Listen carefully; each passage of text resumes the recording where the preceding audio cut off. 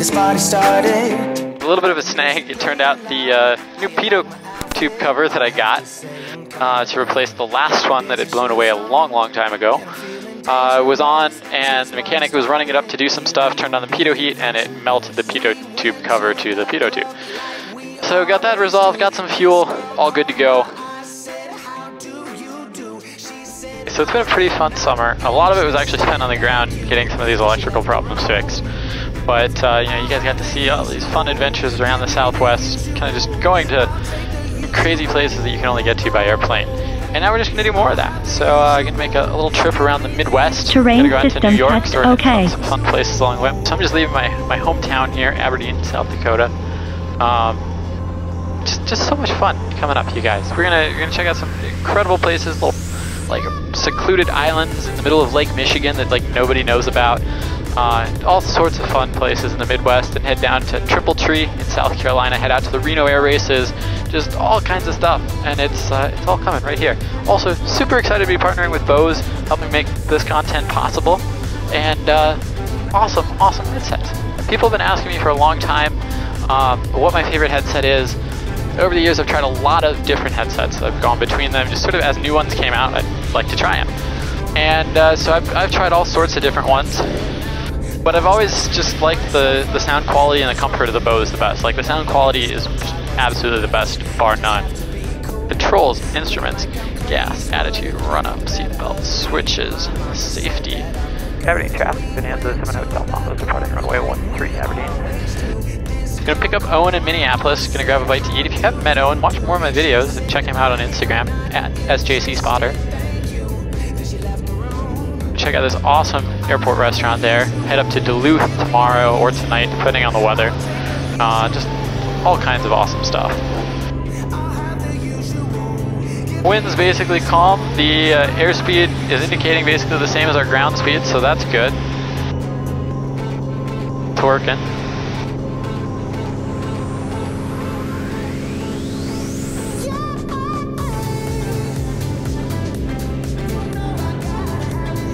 Everything's still in the green. Go ahead and get the gear up.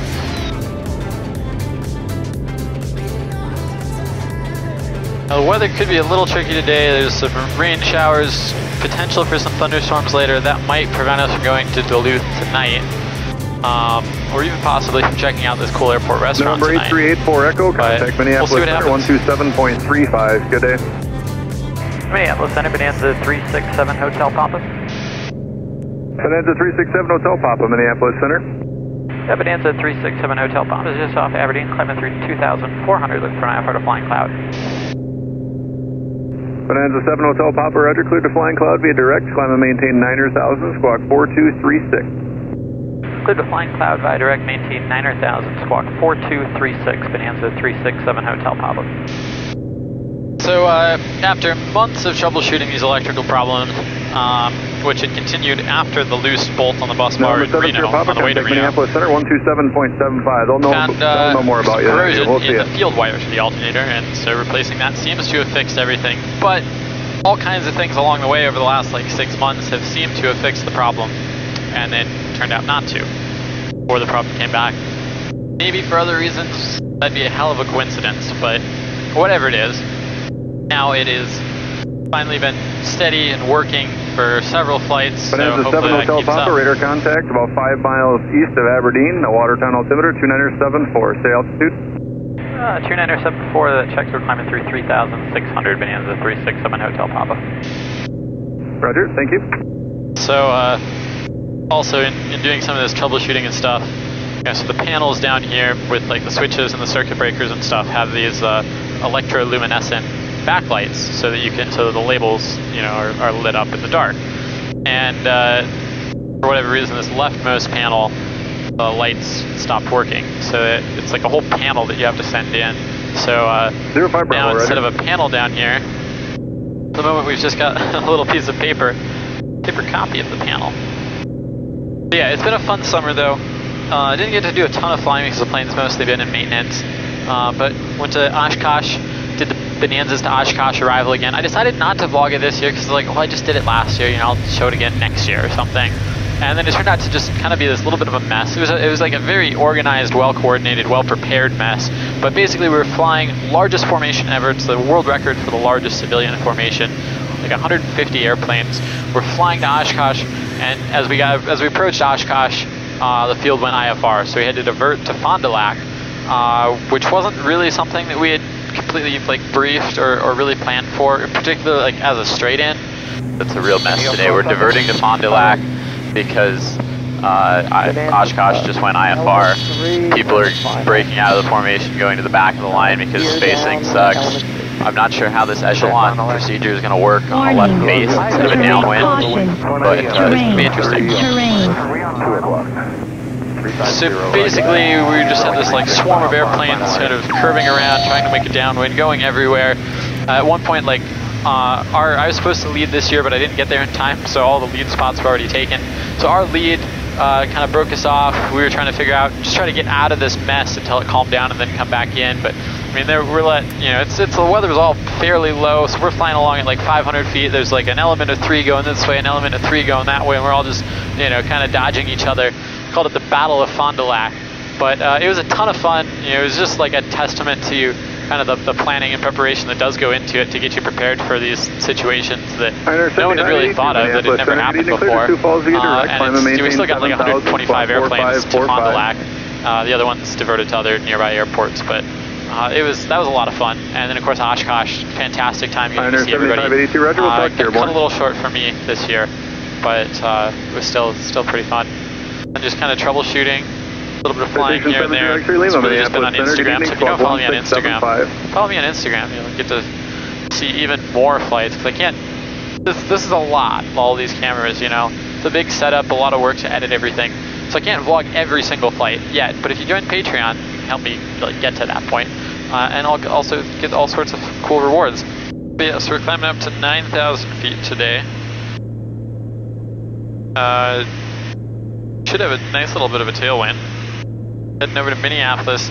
Got a little bit of weather here. I gotta stop in Flying Cloud in Eden Prairie to pick some stuff up. So I'm gonna stop there, kind of dodge a little bit of this weather, and then uh, grab a courtesy car, go pick something up, and then fly over to St. Paul, where I'm gonna meet Owen, we're gonna grab dinner. And then hopefully we're gonna fly up to Duluth, but right now, you know, there's some weather in here. We'll see how that develops uh, as the evening goes on.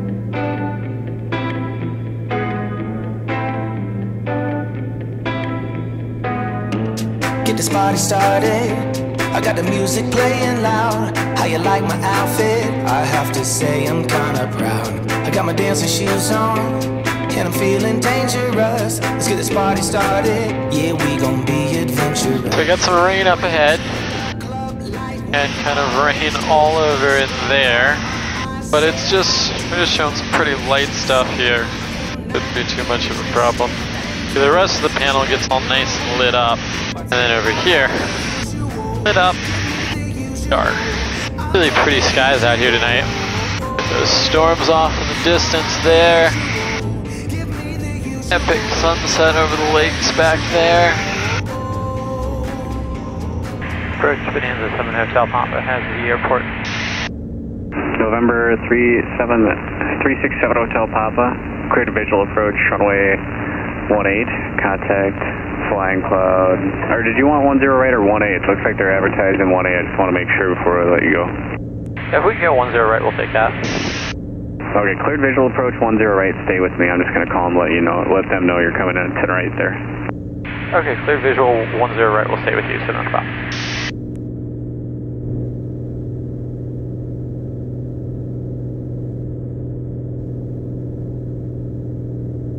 Cessna Zulu Zulu Romeo 1 clear to land. Uh, 1 8 clear to land, 73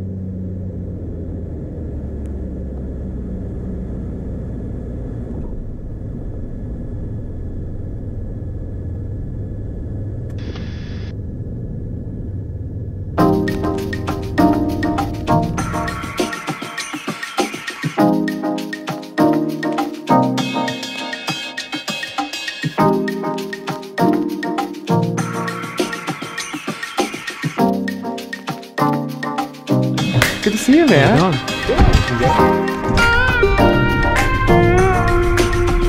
Seven Hotel Step Funk Hotel Runway 18, clear for takeoff, left turn approved.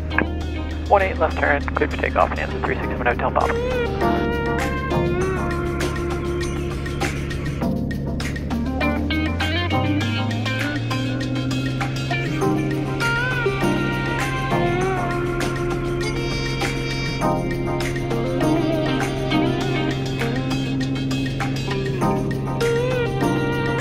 Lot of bugs. Yeah.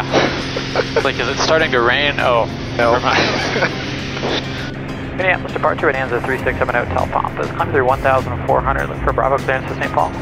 367 Hotel Papa, Minneapolis departure, ident, altimeter is 29er 79er. Ident 29er 79er Bonanza 7 Hotel Papa. Hotel Papa, your radar contact a mile southeast of the St. Paul Airport. Climb and maintain VFR 3500, you're cleared under cross Bravo airspace. 3,500 cleared into the Bravo 7 Hotel Papa.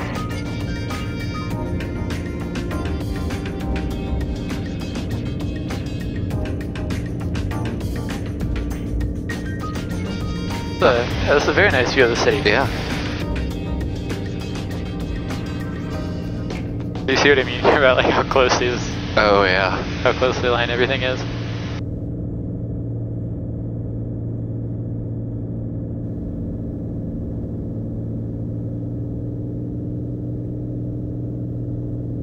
Okay, gears three green, everything's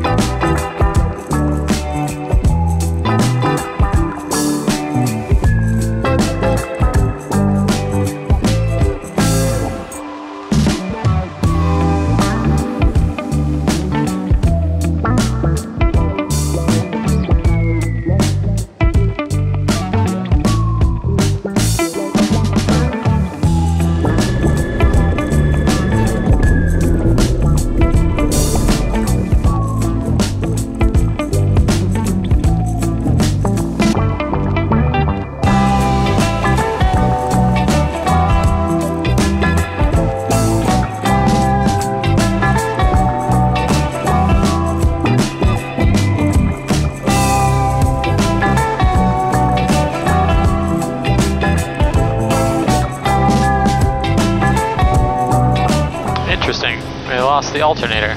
Are you serious? Yeah. See that?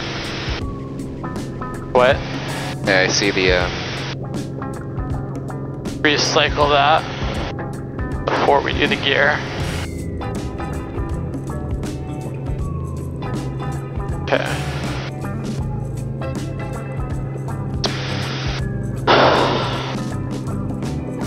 Is, it's literally, I mean, it's so crazy how, like, every time we actually find something that is definitively wrong, and it doesn't fix the problem. well, it's doing okay now. At 28 Yeah. volts. Well, I mean, it's always just on on the takeoff roll or immediately after takeoff. The rest of the time, it always works fine. Our 7 Hotel Papa radar contact, 8 miles northeast of St. Paul, cleared uh, to Duluth via direct climb and maintain 900,000. Cleared to Duluth via direct maintain 900,000. That checks 7 Hotel Papa. Interesting. That's 3 Mike Kilo, That climb maintain lightning was not in the ForeFlight thing Huh. that I was looking at. It's like a whole little line of lightning. Oh yeah, it's going off everywhere. Approach Bonanza 7 Hotel Papa. But, Yeah, what are you showing for weather up ahead? so light precipitation for you uh, in about uh, 10 to 15 miles, and it's kind of patchy. Some of those. Um, I don't know. Can we go around Delta this somewhere? 7419, contact Minneapolis Center 125.5. Should we just stay in Minneapolis tonight? Yes. Up to you, man. Citation 1 November Delta, descend and maintain 3000. I mean, we're not gonna. We're obviously this is that's really strange. Yeah. So we got light precipitation, lightning just everywhere, and we're seeing it in like every direction up ahead. So I'm not liking this. Actually, hold this. Let's try about 90 degrees left. Hotel Papa, contact Minneapolis Center 121.05. Uh, 2105 and 7 top. Actually, if we want about 90 degrees left, are they gonna, will that be with us or with them, or would it be better to stay with you? You want to turn like west? Yes, affirmative. 7 top. 7 Hotel Papa, turn uh, left, heading 270. Left 270, 7 top Papa. Yeah, we just got lightning in every direction up ahead. Okay, um, roger. 04 Foxtrot has Doesn't sound a like he's aware of that light either. precipitation at 12 o'clock, 5 miles, extending about 20 miles in diameter. We would be there in about a half hour. And there's still all of that One November stuff Delta, right clear there. visual approach, Yeah, runway that- 10 right, flying cloud. Report drive power cancellation near this frequency or on the ground via the remote. I mean, we can fly around for a while and see what happens, but So It's 555, just turn left looking- direct Dynam. increasingly difficult. 7 Hotel Papa, I show if you turn north, that'll keep you still west of the weather, but uh, it's at your discretion, climb maintain 900,000. Yeah, 7 top. We'd actually just like to divert to flying cloud. So 2097, Minneapolis departure, radar contact, climb and We're gonna- maintain We're gonna 17000. Roger. We're in the 7. Hotel Papa, Hotel Papa, you're cleared to flying cloud via present heading, descend and maintain 4000. Uh, down to 4,000 uh, to flying cloud, and can we get a left turn for 7 top? 7 Hotel Papa, affirmative, turn left uh, heading 250, maintain uh, 4000. Is that far enough? Can we make it 240? Affirmative. Look at this. We're at like cruise power setting. Yeah, we're, we're- doing 116 knots. Like, That's insane. Oh, we're getting pounded right now. Oh, what was that? St. Paul traffic, about a 3 on 29 degrees, uh, turn left. we're gonna go further left. 14, Steady for a second. and a beat. 4 Whiskey Sierra, descend and maintain 3000. Down to 3000, 4 Whiskey Sierra. And for 7 top, we need further left. 7 Hotel Papa, approved. You want to go south and then back over the top of Minneapolis? I can do that. Yeah, let's do that for 7 top. 7 Hotel Papa, turn left heading 160, maintain 4000. 160 4000, 7 Hotel Papa. Yeah, that weather, I mean, that's that's crazy. That's pretty gnarly. I mean, we were getting like tremendous downdraft in light precipitation, getting lightning and light precipitation, and then the weather in Duluth is just not doing anything like what it was looking like, you know, 20 minutes ago when we took off. So this, this just took a, an interesting, very interesting turn. 7 Hotel Papa's look better there, folks. 7 top Bay firm, yeah, that we were just getting tossed all over the place in that light precip and lightning all over. Okay. That's just bizarre. Okay, got him there. Are you guys staying in the pattern? Affirmative. The wind up here is 199 at 40, and we're at 1,000 Holy. feet. I always hate people who are following people who fly like a really wide pit. Like I would, Oh, I would be turning base right now. Right? We're getting some nice gusts here. flying cloud traffic. Okay. We got well, you in sight.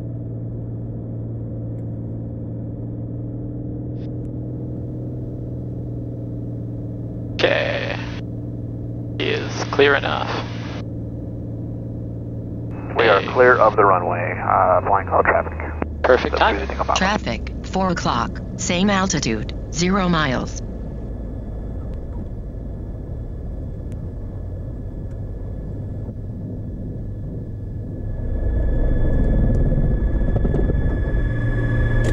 Okay, so tonight did not go at all the way that I thought it was to go.